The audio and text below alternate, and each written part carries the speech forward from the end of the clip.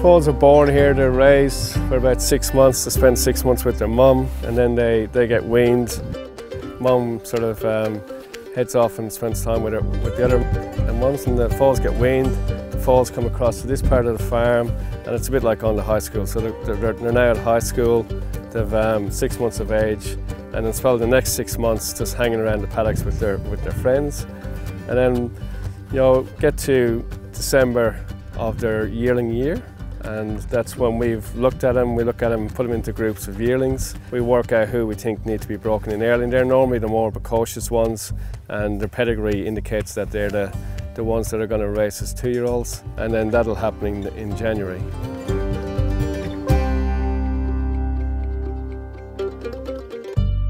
So this is a colt we're pretty excited about for next year. He's got a lovely head on him, he's got a great jowl through here, you know, a big strong jowl, and uh, you know strong neck, great depth, great angle on the shoulder through here, um, and a lovely big strong forearm, quite a big strong forearm here.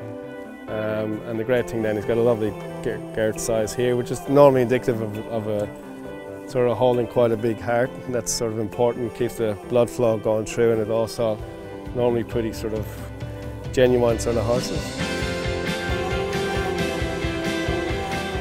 So they've been with us for 18 months and it's just another education and it's part of the process and just getting them ready to go into the racing stables. The whole idea is that they don't get um, you know, upset by anything, it's all just a natural progression from the paddock to be broken into the racing stables in Sydney. Our whole process is just to give them all the same opportunity and sometimes you just need to give them that little bit extra time just to get it.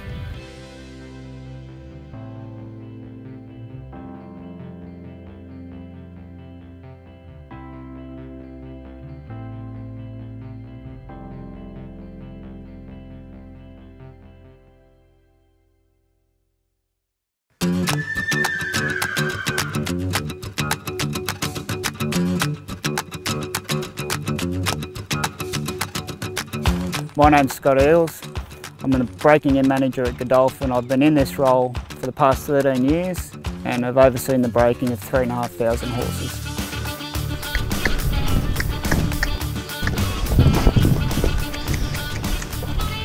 This season we're breaking in about 146 yearlings. Mm. So today's day three. Uh, the program for the first week is basically just to get the horses settled into a routine. They'll head to the rolls first thing in the morning, one by one. It's a lot of, a lot of desensitising, a lot of repetition, uh, accepting the bridle, yep. roller and then saddle. There's different ways we go about it, um, but the differences are minor between breakers. The word breaking is, is pretty old school. It's not actually breaking anymore. You're not breaking a horse's spirit. The word is actually education. All we're doing is educating. It's just like sending your kids to school. You know, you're not there to break their spirit, you're there to educate them and that's exactly what we're doing, all, all in different stages throughout their life. It's all about just remembering they're as different as every human being and then some take more time, some take less time. So the ones that are more nervous, they'll get that extra day, that extra week, that extra month. It, it makes absolutely no difference to us, um, the speed that we get them in. We're up here at Godolphin Kelvinside in the Hunter Valley. This is where all the education of Sheikh Mohammed's Australian racehorses takes place. What we do here at Kelvinside during their education will not only help them during their racing life, but we also try and make it so it's has a long lasting effect so they have a pleasurable life after racing, whether it be in dressage or show jumping or just as a pleasure horse. This is just desensitising him. Um, not everybody does it or people do it in a lot of different ways. I like to do it this way because it's me that controls how much pressure goes on and often the, the idea is if he moves I'll keep the bag on him and um, if he doesn't, when he stops, I'll take it away. So it's just pressure release. So this filly is just got the roller and the side reins on, the mouthing gear. So this is to teach her to um, how to carry her head when she's running, um, how to have a bit in her mouth, and how to have someone moving the bit in her mouth. So we just start off with them quite loose and gradually make them tighter until they're tight enough as if a rider would be holding the reins on their back. Good girl. With the, with the halter, doing a few little things like this helps them just to be that little bit softer. Um, yeah, that, that's why I do that. This is um, this is a few things. The reason I do this one is is just also desensitizing. Like it's a weird thing that's kind of touching its bum, and and they commonly don't like it. For starters, and two, you sort of really pushing their intellect. Um, when they first start doing it, they sort of commonly will struggle.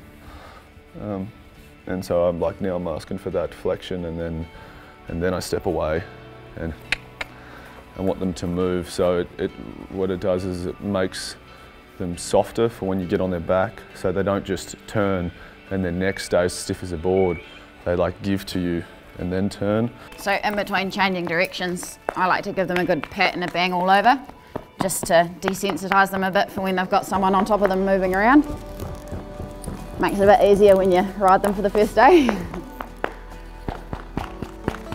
Some horses are more relaxed. Uh, the more relaxed horses progress a bit quicker um, because they're more comfortable with what you're doing. Um, if they're a little bit more nervous, um, a little bit more hot temperamented, then you sort of take everything just a step slower. Just put a little bit less pressure on them until they're ready to cope with more pressure. Any good horse person will pick it up, just working with horses daily. And it's all, it's it's just how their appearance to you. you they're, they're very easy to read, um, mostly through head carriage. Like obviously, um, a horse with his ear, ears back is unhappy. You you just want that horse, especially if you're doing something with the barriers or the gear on for the first time, just to drop its head, you know, and have a chew on the bit, and that's them saying that I'm I'm great with everything and I'm happy. The biggest challenges of breaking are probably having a lot of patience. Um, every now and then you get a horse that's really just pushing your buttons and things aren't going the way you want it to go.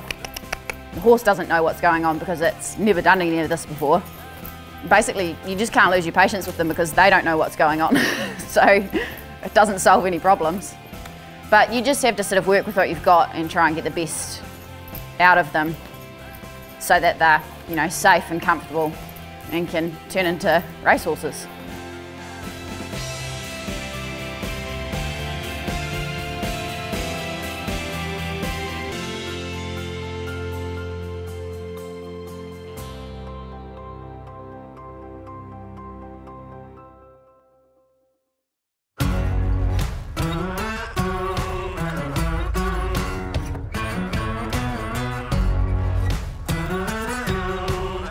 We're on the eighth day uh, of having the horses in now. Everything's been well under saddle for the past, majority of them for the past three days.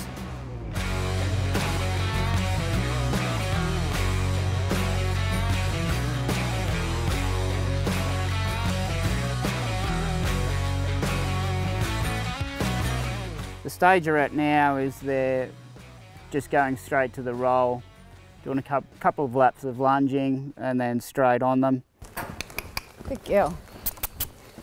So at the moment, all we're really trying to teach her to do is how to move forward off your leg and how to stop and steer and just be comfortable with a rider on her back. They're pretty fast learners, especially at this age. I only give them sort of two, maybe three rides in the round yard before I move them out to the, the arena, which is just a bigger area. They've been stuck in the round yard for over a week, which as you can imagine, looking at these black walls gets pretty boring pretty quickly.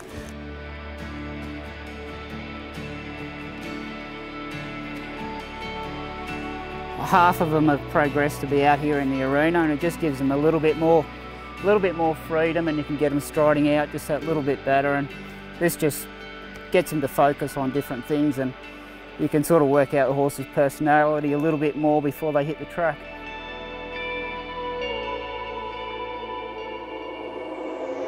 So straight away she's more forward out here, happier to trot out. And she's actually enjoying it too. You can see from her ears, they're pricked. She's not scared, her tail's nice and loose and relaxed. So for this stage, she's doing everything really well. And I'll pop her into trot and we'll just keep repeating the things that we've been doing in the round yard in a bigger open area. Good girl.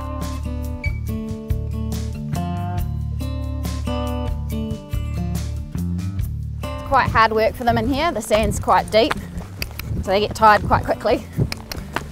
So you never want to overdo it and push them too far when they're tired. They just don't have the mentality at this age to cope with too much hard work. So because she's doing everything right, gonna give her a little canter in here. Good girl. Obviously all her back muscles are weak, she's never carried weight on her back. And they get quite unbalanced very easily. So the trick is to do lots of smaller canters, not tire her out. She'll gradually find her legs and get her balance properly. Any decent horseman will learn it. It's just the horse's whole composure. Um, it's just like raising kids. It's just, it's exactly the same. They're just as different um, as we are. And, you know, you can see this horse now, she's just putting her head down, she's having a chew. She's probably a little bit tired, but she's also happy. Considering that she's, you know, she is only a baby, it's the first time in the, in the arena she's away from any other horse. She's just accepted that Bridget's on her and um, she's definitely going in the right direction.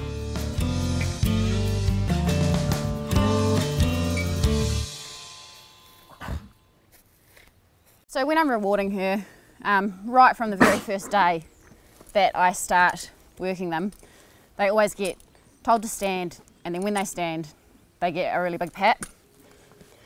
It's just really calming for them and they eventually get to learn that that's a good thing. When they're being patted, everything around them stops, it's quiet, nothing's fast or rushing. Good girl. Rightio. So on her way home, I'll take her over and walk her through the practice barriers. So this will be her first time going through with the rider on her back. We just like to get them used to walking into a confined space, but it's not as challenging as the official starting gates. Obviously it's a bit wider, um, there's less going on, it's nice and quiet. There's no footsteps on the sides, so we can scrape off the wooden edges. like to make a bit of noise in here, just kind of simulate what they may experience down at the actual starting gates. Main thing is that they walk straight in and stand here and they're relaxed. It's a pretty important step of their breaking in because um, horses that can't, can't jump out of the gates properly and can't behave in the barriers can actually get banned from racing. She was pretty happy with that so we'll just leave her on a good note. She's done everything right today. She's pretty tired.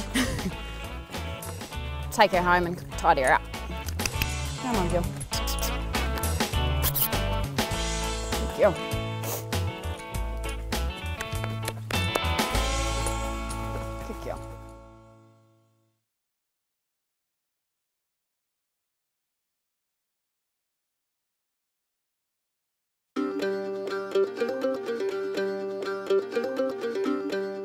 These babies that we're having now, this is their towards the end of their third week. So their first jump out today, they'll splash pull this, uh, this afternoon. By the end of their fourth week, they've had three jump outs, three swims.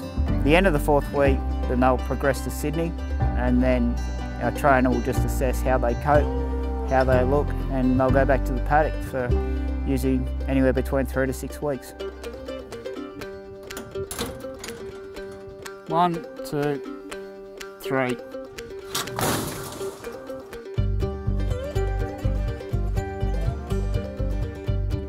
The last few days they'd been on the track and just walking in the gates. This is their first jump out. Race day they've got to stay in sometimes for minutes. So um, the more jump outs they do, they do, the longer we'll leave them in here. Uh, if we if we if we just put them in and, and, jump out, they'll they'll expect next time just to go in and jump out and not stand. So uh, the more relaxed we can get them, the better. at the barriers, especially the first time, we just wanted to walk down here calmly, walk in, close them up behind when they're happy, let them fill the back gates, then just give them a little bit of a wave in front until they're happy. We just want them to stand there as quiet as possible and, um, and just be relaxed and make, it, make everything a good experience. Good lad. So all we need them to do the first jump out is just behave really and it doesn't matter how they fall out, whether they walk out, trot out or canter off. As long as they're relaxed and the lead pony will just jump out with them and just get them past the gap. So we're gonna come out of here nice and easy and just work along. And that was pretty good. You like that? That was good. Our jump out pony, Hockenheim, his role is to come down to the gates and he'll stand in the side of the gates. When they open, he'll set the pace, he'll go with the first horse and get him across the gap. And what this does, it just gives gives the babies a bit of security with a, a relaxed horse around them. He just switches on, he knows his job. Um, he's if we have one that's very unsettled in the gates, he just, he's so calm and zen-like and he comforts the babies. He, he, he's quite a card. He, he's, he's so relaxed that even on a jump out morning of 40 jump outs, 45 degree heat, he'll come back down in between every jump out. He'll actually close his eyes and fall asleep in the gates. He's the reason half these horses are so good in the barriers.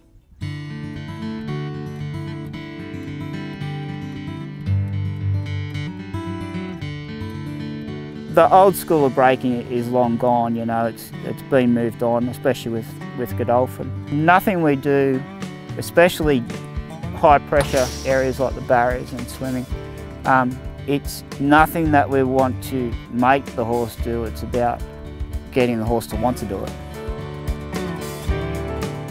It's a lot safer way for the horse and rider and you get such a better, a better result.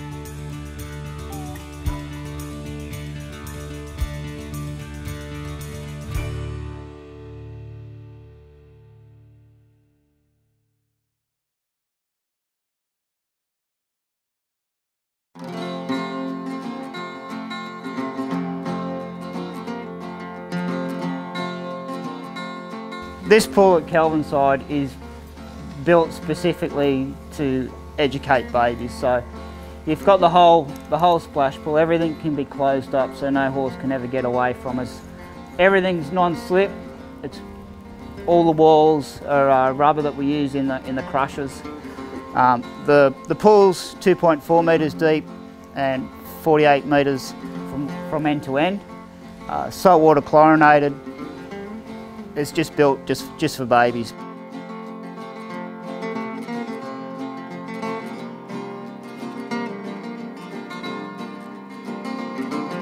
Come on. That's a boy.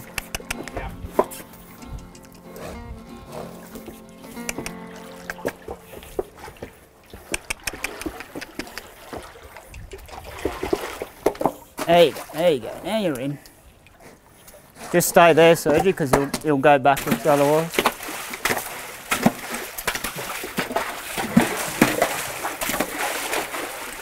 I don't mind him having a bit of a play if it makes him happy.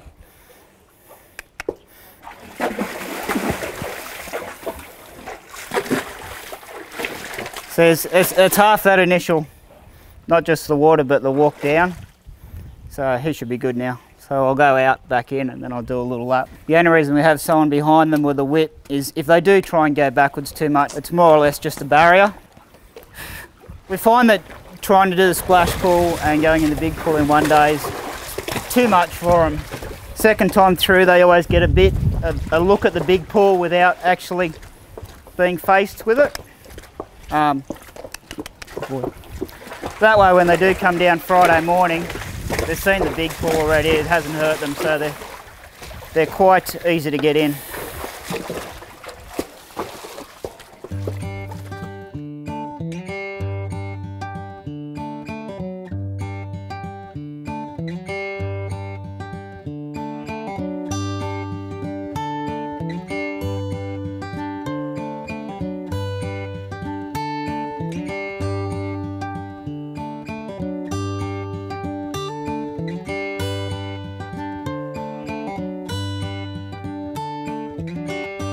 Any of the babies that are a little bit scared or um, reluctant to come in, we just take as much time as they need. Any that don't want to go straight in the water, we'll, we'll get them in and we'll repeat it several times. So all we want them to do now is walk in calmly, just put a clip on each side and the guys on the side will just keep him in the middle of the pool and keep his head nice and low. And he'll just swim up one lap.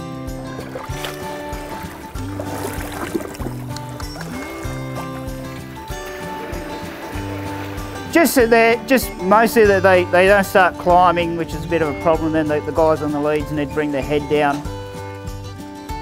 Some don't pick it up straight away, but once once they have two or three swims, it's it's pretty natural for them.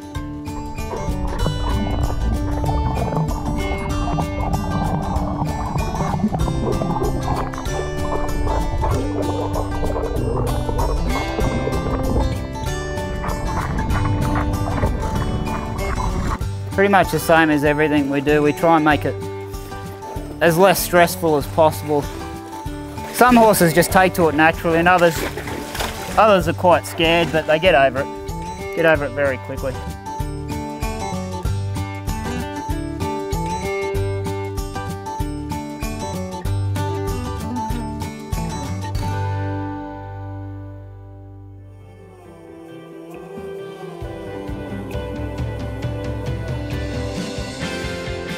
Watching those horses and thinking how they've come from from the first day they were here to the last day they're here, it's it's like sending your kids off to school for the first time. It's it's it's a really good feeling, and you know, in saying that, full credit has to go to the guys that are doing the breaking job. You know, um, you're only as good as the people that are around you, so you know they deserve a lot of merit.